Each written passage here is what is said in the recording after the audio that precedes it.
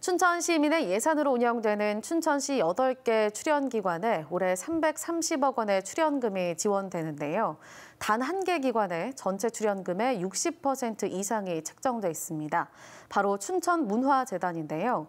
과도한 인건비와 방만한 경영이 문제가 되자 자체 경영 개선에 나섰습니다. 허주희 기자입니다. 2008년 춘천시가 출연한 춘천문화재단입니다. 춘천문화예술회관과 축제극장 몸짓, 김유정 문학촌에 이어 올해는 춘천예술촌까지. 이름만 들으면 알 수 있는 춘천의 대부분의 문화예술 사업을 이 문화재단에서 맡고 있습니다. 이재수 전임시장 때인 지난해 춘천시가 문화체육관광부로부터 법정 문화도시로 지정되면서 예산도 크게 늘었습니다. 춘천시가 문화재단에 지원하는 올해 출연금만 지난해보다 27억 원이 증가한 205억 원으로 늘었습니다. 춘천시 출연기관 8곳의 출연금을 합하면 334억 원이니까 무려 61%가 문화재단 한 곳으로 들어가고 있는 겁니다. 공공의 목적으로 설립된 출연기관이라고는 하지만 자체 수익률은 전체 예산의 1%도 되지 않아 지나치게 예산에만 의존하고 있다는 비판도 계속되고 있습니다. 인건비도 논란입니다.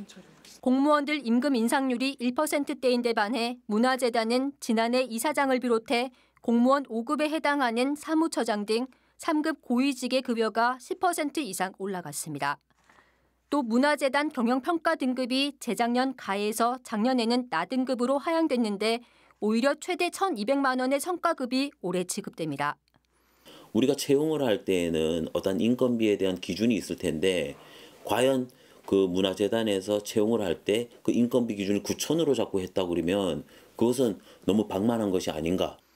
민선 8기 들어 춘천시장에 이어 이사장까지 물갈이 되면서 문화재단은 조직 개편과 부실 사업 폐지 등 자체 경영 효율화 계획을 발표했습니다.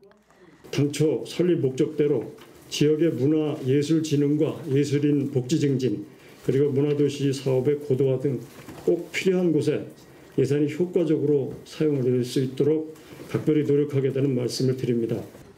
최근에는 육동안 춘천시장까지 나서 방만한 산하기관에 대한 대대적인 경영 개선을 예고했습니다. 하지만 내년 춘천문화재단 출연금은 207억 원으로 인건비 상승분만큼 오히려 늘어날 걸로 예상됩니다. MBC 뉴스 허주입니다.